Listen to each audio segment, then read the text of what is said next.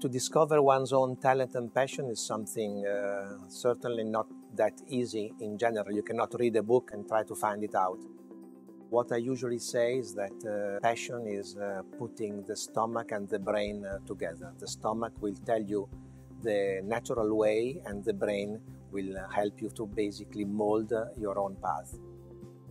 The executive MBA was very important for me because uh, until that point, basically my profession was a merely technical profession, extremely technical, but uh, still I had absolutely no management uh, skills. And I thought that at some stage in your life, when you try to grow and you try to improve yourself, I think management uh, and management skills is something that will always come handy uh, Uh, because you will have to lead projects and above all, you, have, you will have to lead men.